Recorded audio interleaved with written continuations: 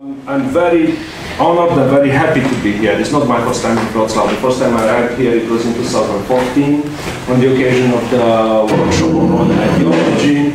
And then uh, I came here, it was in 2015 on the occasion of the Critical Legal Conference 2015, which was uh, a very important event, um, both for the critical legal community and uh, I think also for, for the legal community in, uh, in Central and Eastern Europe. Um, and it is precisely at that time that um, on the occasion of the plenary session, I, I, presented here. So, you know, it is really the, the, the right place for, for, uh, for presenting you the book, I think. Because uh, I presented um, some sort of, the, of prolegomena, if you want, of uh, what I wanted to do in this, in this book. Because at that time, I was just thinking that, you know, I'm going to write this book. I'm going to write a book about um, the status of legality uh, under communism, which, you know, has been something which has been bugging me all for, for a, bugging me for, for, a, for a long time now. Uh, and it's something on which I reflected, I tried to reflect at least quite a lot starting my, my, uh, my PhD years. Um, and then this uh, fed in quite a lot in, in, uh, in other projects. Um, so seriously, I'm very happy to be here and I, I thank you a lot for it. And then once again, I want to, I want to underline that the, the importance of what is happening at, uh, at this center, at the Center of um, uh, for uh, Legal Education and Social Theory, which uh, it is probably one of the institutions which is quite unique in the, in the region. Um, and uh, you know, everyone here is, is doing an excellent, an excellent work. And also, I would like to thank to the, to the faculty, faculty of Law at the University of Wrocław. Um, because hosting this sort of events, it's crucial for, for the development of legal scholarship, which is nowadays, and especially for legal theory, which nowadays I, I really think that it's, it finds itself under various forms of threat. So uh, I'm very happy to be here. Um, so let's take a look a bit about what this, I mean, let's take a look at what this book is about. So I try to, to, to, to focus, keeping in mind that it is for you, this presentation, and it's less about me. Um, I try to focus on three concepts which I find key for understanding or you know for deciphering the whole problematic that the book raises or you know tries to explore.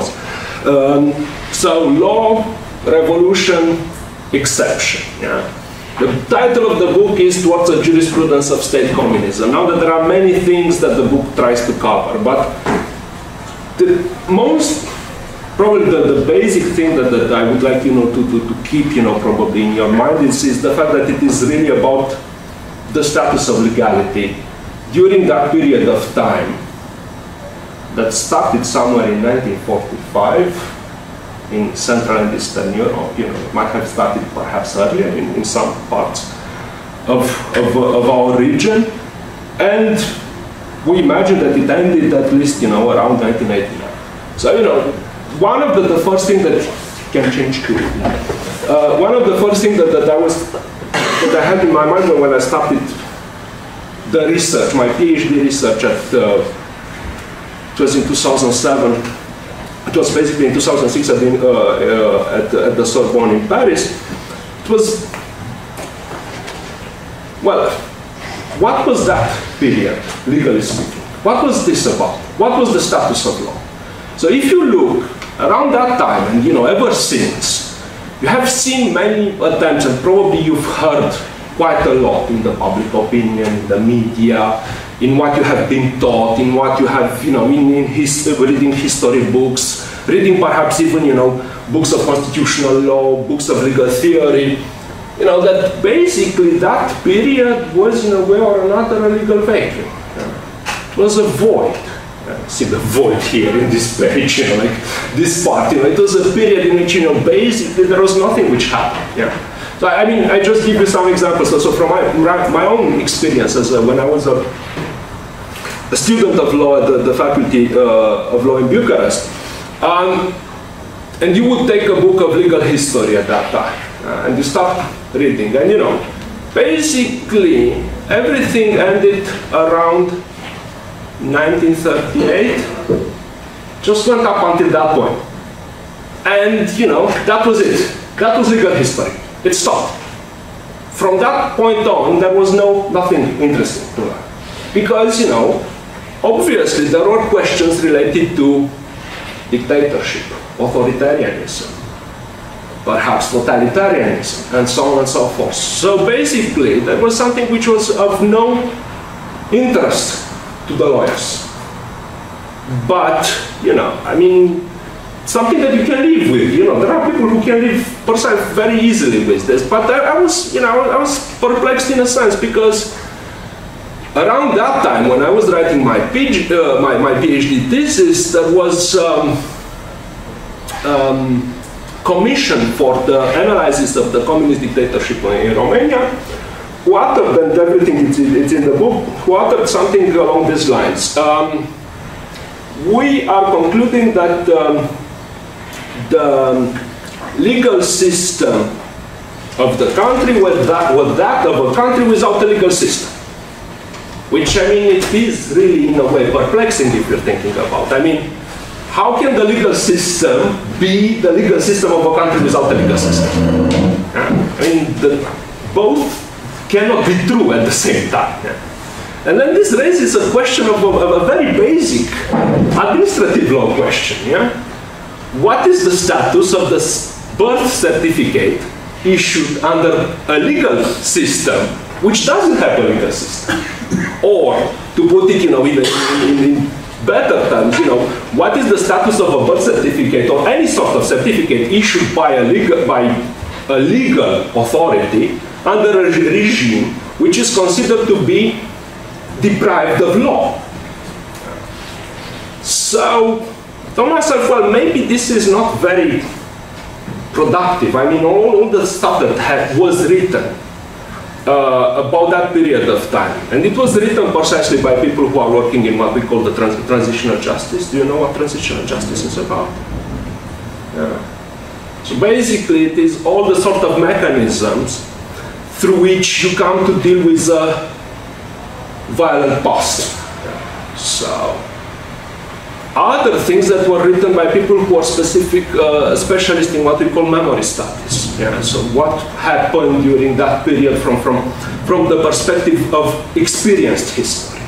Other things which were written by historians at that time. So uh, I Thomas, I wasn't very satisfied about by these answers because you know most of them they lacked what I would call you know a jurisprudential insight into things, and they lacked precisely that particular view that the legal theorist can bring. Hmm. So they weren't able really to, to deal with, uh, with this issue of law under communism.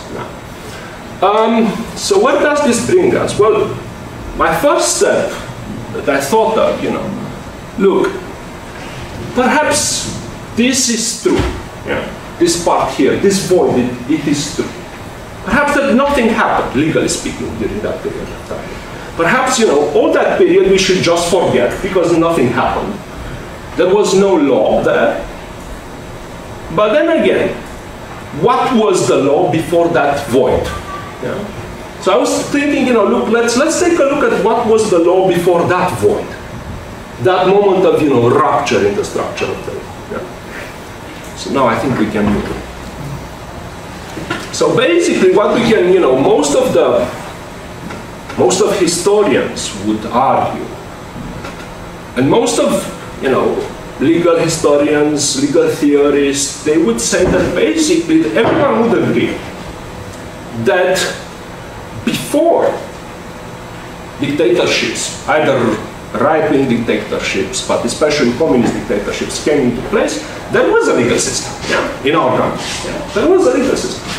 But those legal systems, they functioned, or they, they were articulated, or they could, they were to be thought under this particular view. I mean, this view which was, and it's still work, workable, I mean, it, it is still something which, which we can use today, which was articulated by this theorist, Hans Kelsen. Are you familiar with the name? No. I mean, Hans Kelsen, he, he really is, if you want, like the theorist, which has articulated probably our, even if, you know, we are all Kelsenians in Central and Eastern Europe, even if we, we, we if, even if we don't know his name, we're still Kelsenians. Because basically, what he says, he started writing his works at the, just before World War One, yeah? So around 1913, 1914, around that time. Uh, but he properly articulated his theory around 1930s. And he published this book, the first edition of the Pure Theory of Law, in 1934. Yeah. So, why am I saying that he is, you know, the representative of, of, continental jurisprudence. So even if we're dreaming and sleeping and you know thinking about the law at any moment in time, we are Kelsenians because um, just thinks that law it's only about norms. It's not about something else. But it's not. I mean, these norms they are very different from any other forms of norms. Yeah. The legal norms, they are very different from religious norms, they are very different from social so norms of social conduct, they are very different from any. They have something which is specific to them. And what it is really specific to them, it is given by what we call the principle of imputation. So the principle of imputation makes one able to see that there is a relation, let's call it hierarchical, the relation between two norms. Yeah? And this hierarchical relation between two, two norms, if you apply it, you can read the whole reality like a system of norms. Just let me give you an example. So basically, you know, in physics, in biology, in chemistry, and so on, we have the natural world, if you want, we have the principle of causation. Yeah? If something hits a ball, the ball is going to move. And it is precisely because something hit that ball. Yeah? The ball is going to move. In um, the normative system, in the legal normative system, something exists, all the material acts have a legal meaning and the legal significance because of the principle of imputation, because we know that they are coming from the, from the right legally organized authority. Yeah? Uh, so we know that the law is a law because it was passed by the parliament.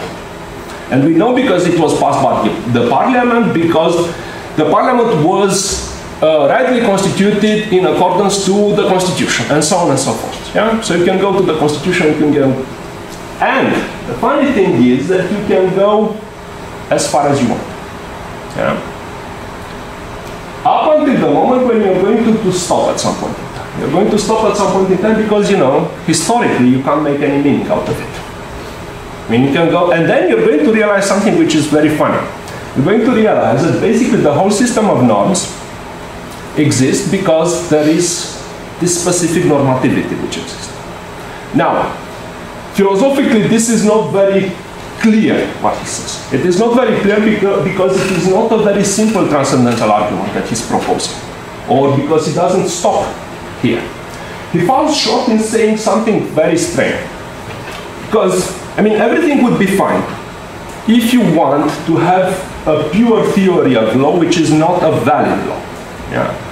So we can imagine that if you want to have a theory of law, um, or a theory of norms just like that. But what can you do if you want to make the distinction between, you know, a constitution that either me or Wojtek wrote, and they keep it on, on the computer. We keep it on the computer. Yeah?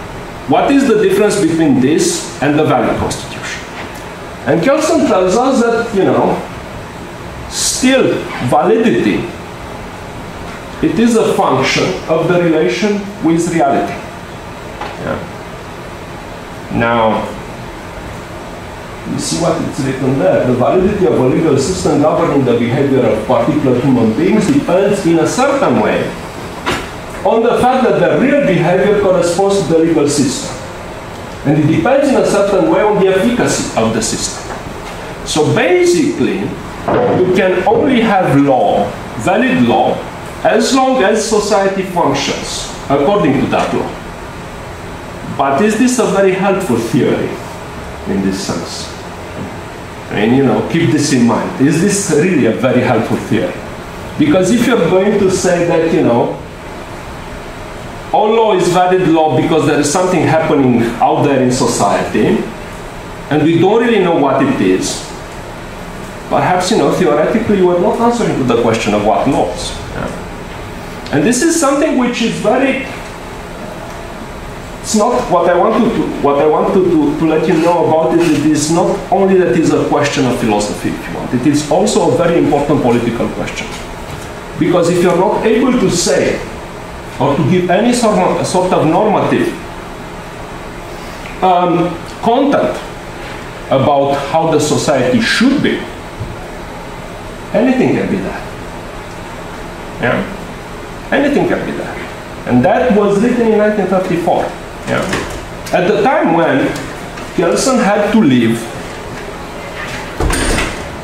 all his position in Germany and he had to move to Switzerland and then you know he moved for a while in Prague.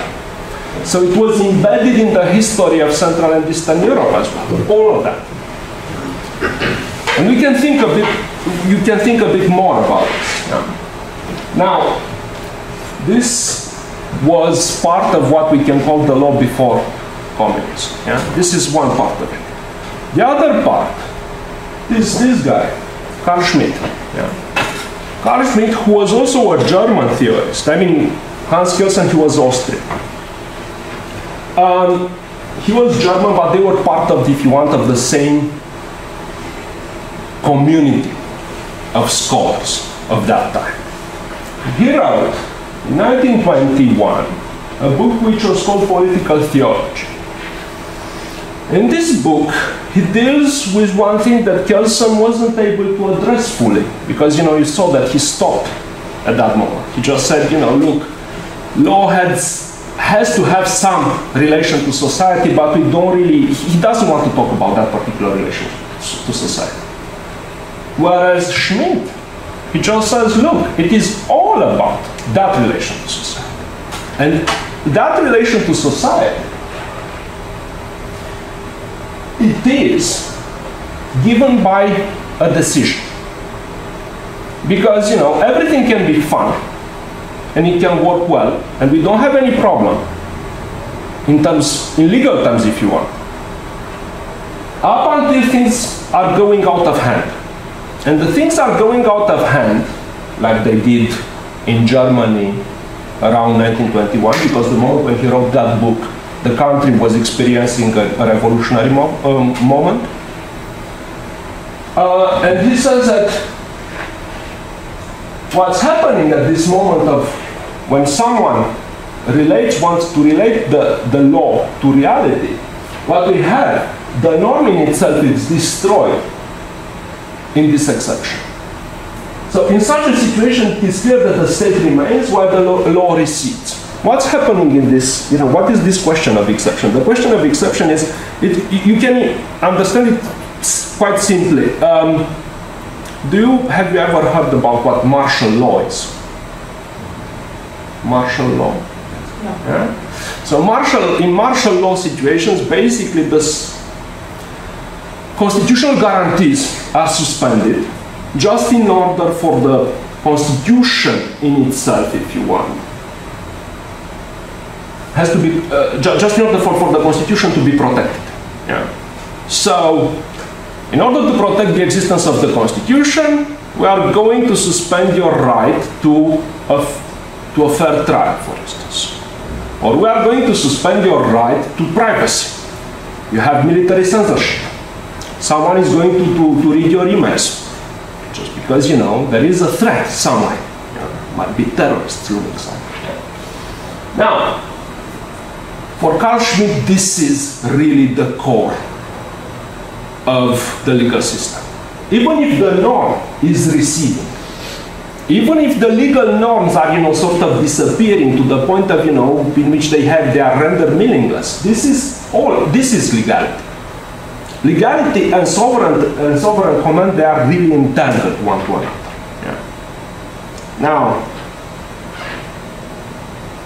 what do you think about this regime of legality? This is the regime of legality that, you know, most of us were looking at and we're saying this is, you know, the regime of legality which existed before that void brought by the communists. Yeah. I mean, you know, it is not that articulated, you know, legality that we imagine it to be. Because basically what we had during that period of time, coming from the World War One, in most of the countries, and I'm not only speaking, I, I can, can give you the example of Romania. Basically, Romania was a country in which the state of siege, that is Schmitt, basically, uh, was in which the state of siege or the state of exception was in force all the time.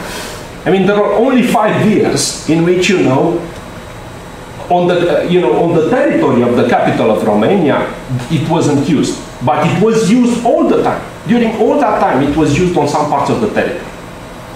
So, you know, basically we're talking about, you know, an existence sort of an, imagined legality which was never articulated. It was never fully articulated.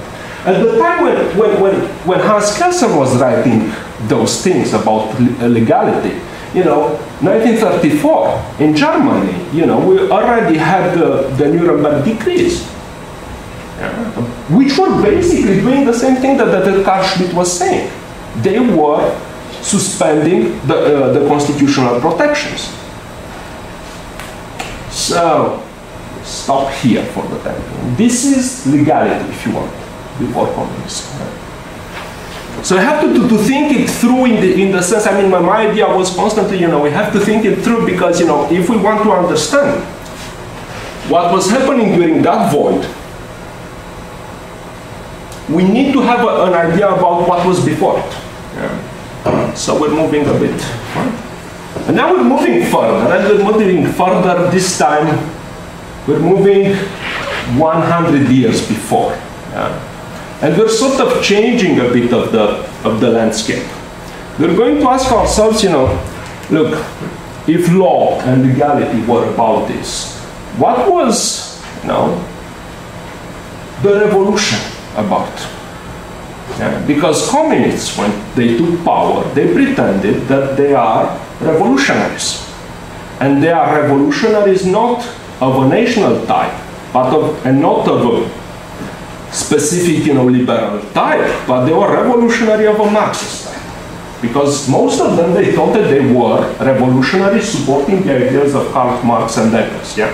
I mean, we can debate it whether they really did this in reality or not, but I mean, everyone at that time would agree that they were some sort of, you know, that they presented themselves as being Marxist. Whether they were truly Marxist or not, that's another question. But you know, 1945, or let's say 1944, when the Soviet tanks come in Romania, and on them you also had, you know, parts of the Central Committee of the Romanian Communist Party. You ask the people from the Romanian Communist Party, are you a Marxist? They are going to tell, well, I'm a Stalinist. Um, but then still they would say, yes, we believe in the teachings of Marx and Lenin. I mean, for sure. Now, what are these ideas about and what was the theory, if we can call it theory? What was the, their view or the original view on law? Yeah. I mean, what were these people, what was the, the revolution about? Yeah. One of their ideas was that, look, we need to dismantle the legal systems. And we need to dismantle legal systems and states because the law is not something neutral. The law is not something which is inscribed in nature. The law is not something which is transcendent and universal, but it is really the rule of a definite, of a definite class of society whose social power deriving from its property has its practical idealistic expression, in each case in the form of the state. So it is not about, it is about who has the power. And one particular form of power. Yeah. It's economic power, which for Marxists, this is it's the most important because everything it is based on economics. This is the structure of reality. This is what structures reality. Yeah. Now, there is a long thread of movement, if you want, because you know the German ideology is a book which was written before the, the revolution of 1848. Yeah, so it's really what, almost 100 years before what we discussed before.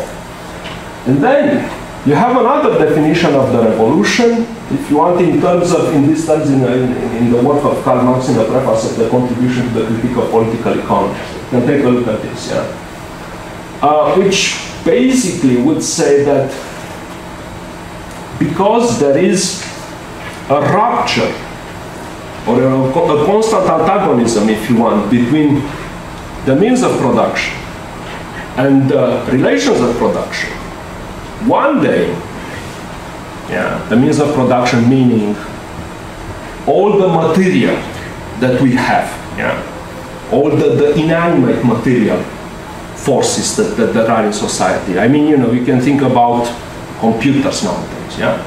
And when they are going to develop too much, at some point in time, they are going to render the relations of production, and the relations of production is the organization of society, yeah? with all its forms, they are going to render them obsolete.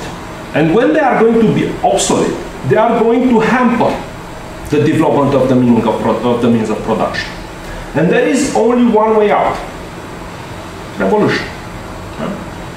And this is what they said. Revolution would be basically a form of, it, it is a historical necessity, it just happens. Yeah. It just happens because of the, the development of the means of production, because you know people read, invent, and so on and so forth, and then this produces changes. Now you can discuss a bit, you can, can discuss a lot about you know how these changes are produced, whether they should go into one direction or another, and so on and so forth. I mean, I'm not going to tell you all about this, and I don't want to get into this. But what I wanted to, to say, to, to tell, uh, what I wanted to, uh, to underline here is the fact that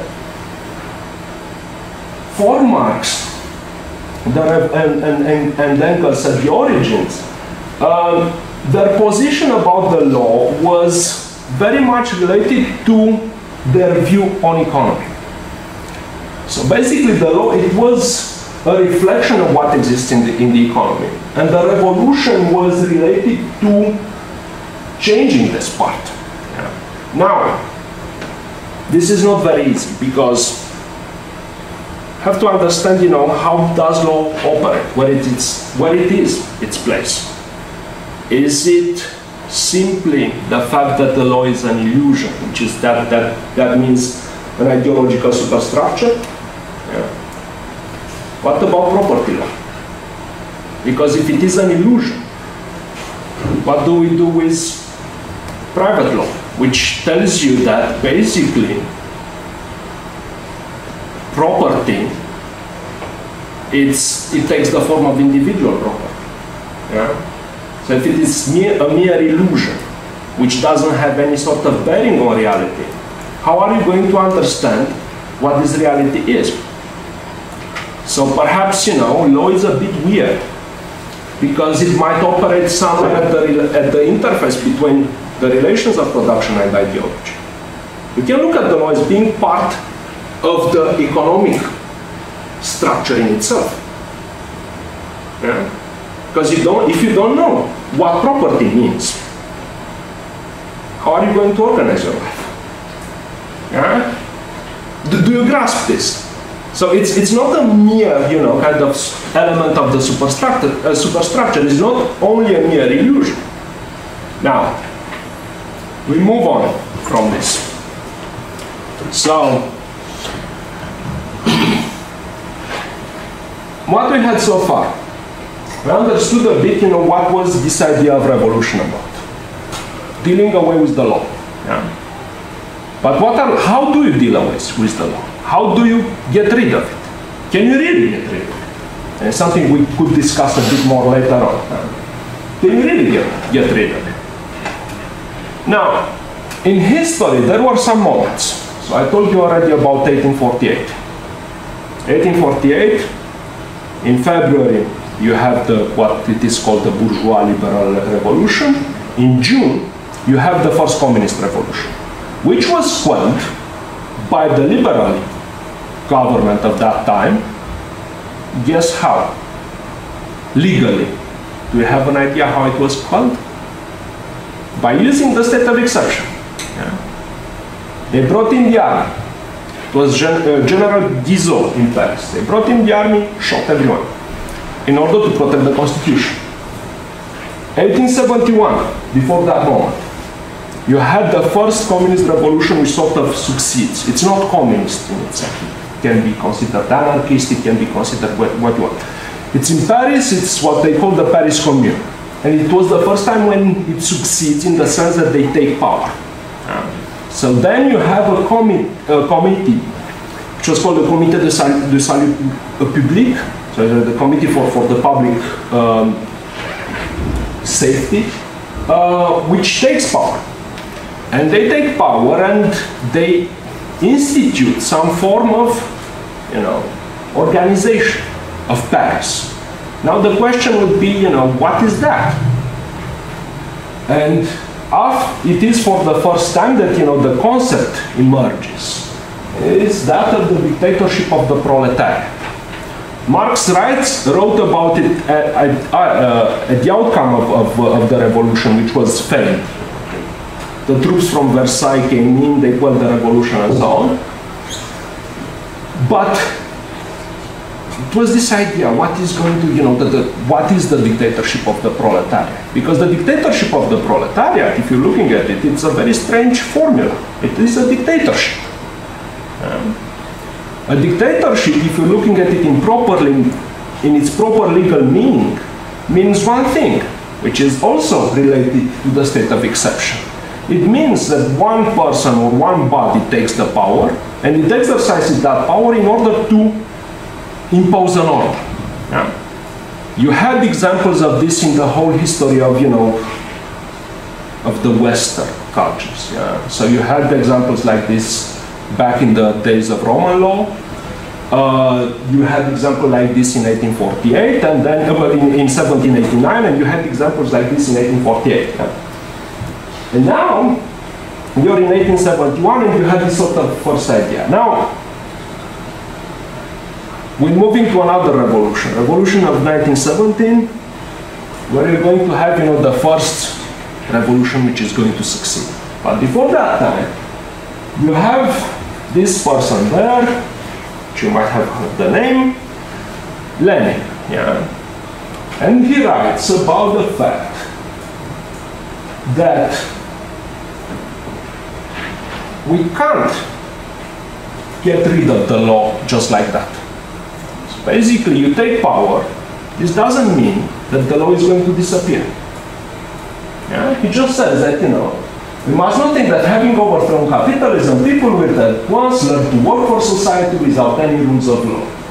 Besides, the abolition of capitalism does not immediately create the economic prerequisites for such a change. Now, this is a bit, it is interesting because, you know, he's looking at the, this concept of dictatorship of the proletariat as a very uh, particularly limited temporarily period of time, in which he says, and he brings in this idea, that basically for a long, for a period of time, the state is going to continue to exist. The law is going to continue to exist. Everything is going to, you know, you're, you're going to have a legal order. But that order is going to be the dictatorship of the proletariat. And the law is going to disappear. After that, what you're going to have going to have what is the formula was, and we can get back, we can get back a bit to, yes, the formula of Karl Marx of, and Engels was that the law is going to wither away. So the law is going to simply disappear.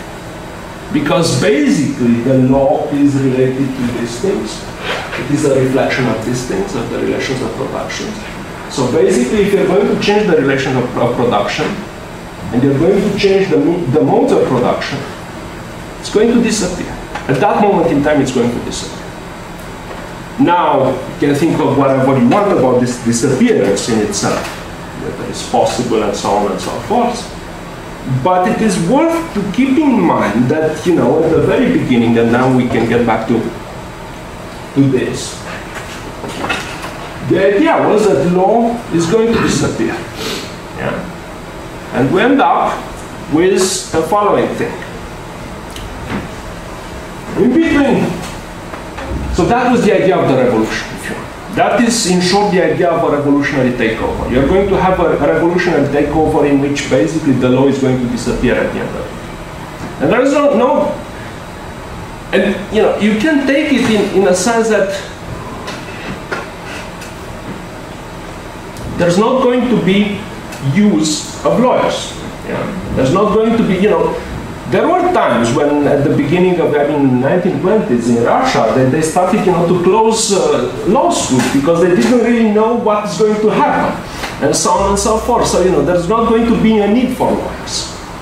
And then this, all of this, uh, this part is going to, to enable us to, to discuss a bit more about what law is. Why law is supposed to be disappear, what law is about. Um, and then there is another Marxist theorist that I'm not quoting here, and his name is Evgeny Pashukanis, was also, he would say, even a bit more than, than the fact that the law is going to disappear. He's going to say that as, as long, this is probably the most important bit that I want to underline with my book, as long as there's going to be law, the revolution didn't succeed. It's not that.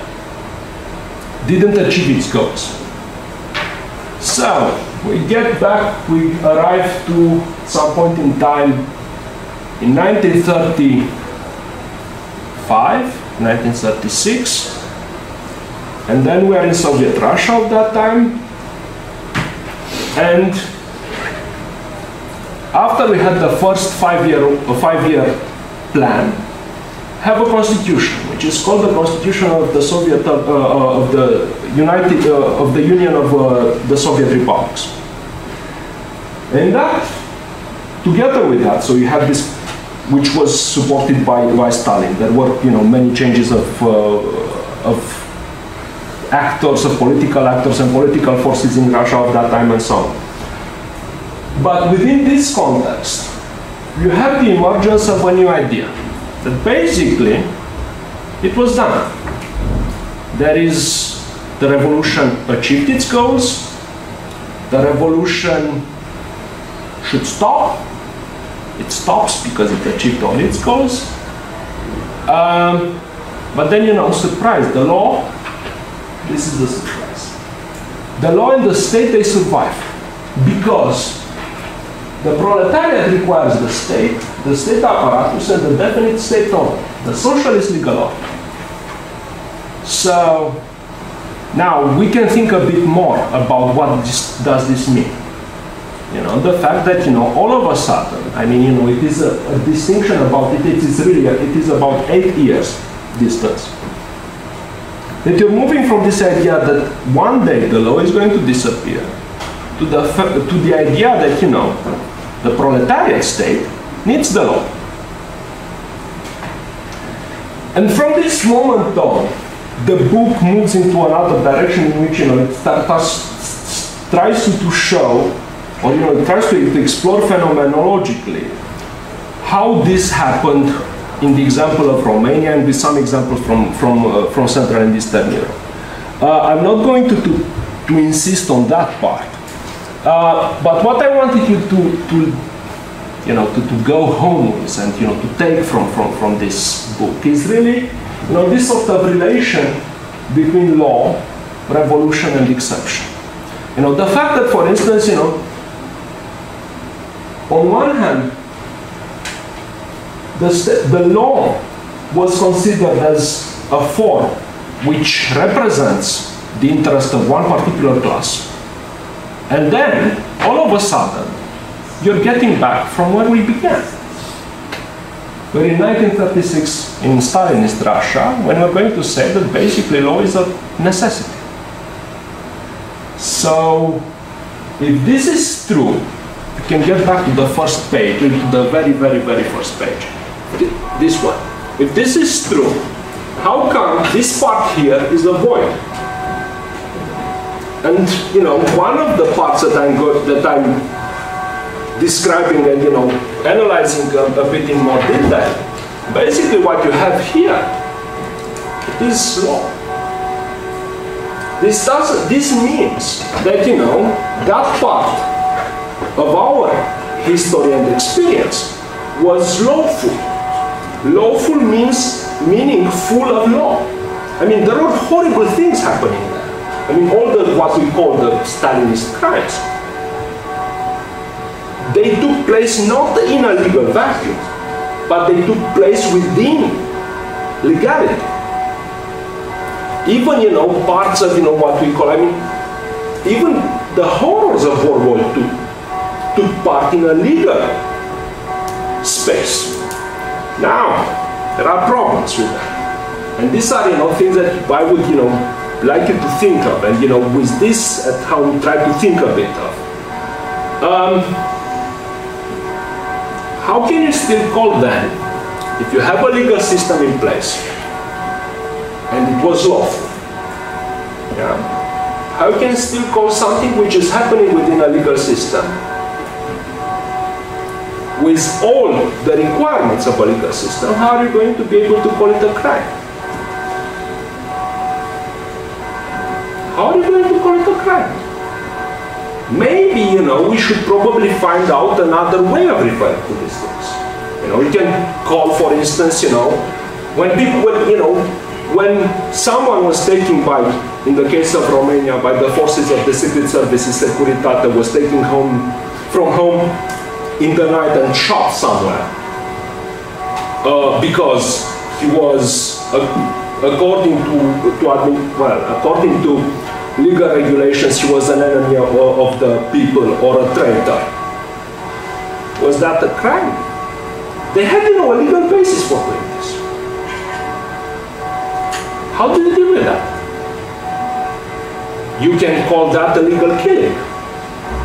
But this means that basically you are just making a, a, a moral judgment. I mean, you're, you're, just, the only thing that you can make is a moral judgment about that. It's not a legal judgment that you can make about. Uh, now, there are other things about this. Probably something which, you know, it's another level of questions related, uh, raised by, by this, or that I want to, to, to stir a bit, is that, you know, perhaps now we shouldn't take the law only as being something as a pure neutral tool, as being a pure neutral tool. Uh, maybe the law has, you know, how can we live with this sort of history as lawyers? Can we say that, you know, look, 1999 have the change, the regime change, we have a new constitution in 1991 in Romania and so on, and you know, everything changed. But just living in a very nice world and so on and so forth. Because basically, you know, those people for about 40 years, they also lived in one of the best worlds, according to the legal existence. I mean, you know. Um, now, there are also questions related to one other thing that I'm now I'm going to, to, to to bring on the table even more with you is, is the question of, you know, what do you do as lawyers? And what do you do as lawyers in the sense of how are you going to oppose forms of oppression which are lawful? Or how are you going to support perhaps, I don't know, progressive movements? Can you as lawyers be critical? or you know just being lawyer makes you simply one person who just deals with the law as it is with the positive law and you know then you can go home and can sleep calmly and so on. And then there is another issue. What were those people here taught?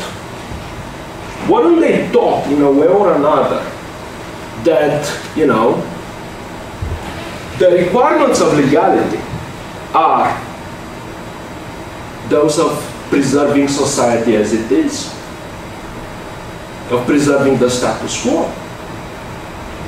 1945, well, what do you think in 1950s, what a judge or what a, what a law student was taught?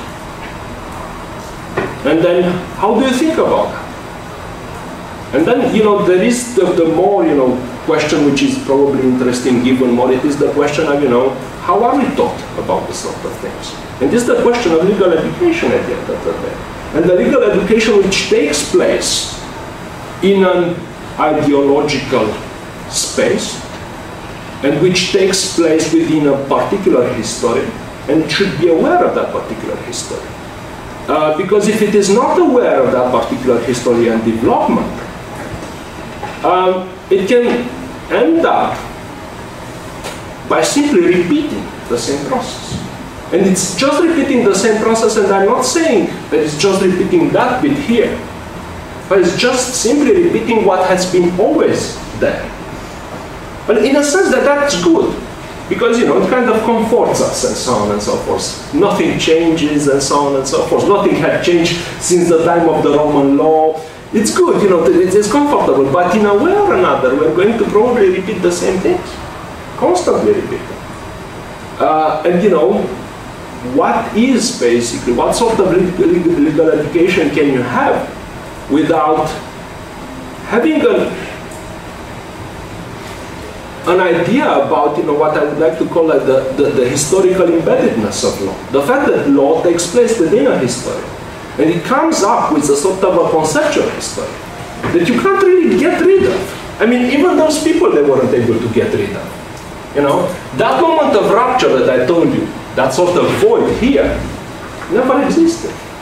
No one got rid of it. I mean, you know, seriously, and one of the points that I'm bringing in, you know, in the case of Romania during the, the 1970s, yeah, so it, when it was really the apex of, of, of socialism, we still had a civil code, and which was, surprise, the same civil code as it was in 1864. It was really the same. Well, there were parts of it which were suspended in, in its application, but otherwise the text was the same. Um, so a specific, end, if you're thinking of that code, it was basically founded on on the Napoleonic Code of 1804, which was written this time in Romanian and it was adapted and so on and so forth. But you know, the concepts were very much the same. And if you're thinking of you know the concepts of the Code of 1804, they all go back to some very ancient concepts. So if you're just thinking uncritically about the law in these terms, you know, basically repeating the same thing. And that's what we're doing. I mean, you know, as lawyers, we are perhaps forced to doing this, because if we're not doing that, we're no longer lawyers, are we? So, on this note. Thank you.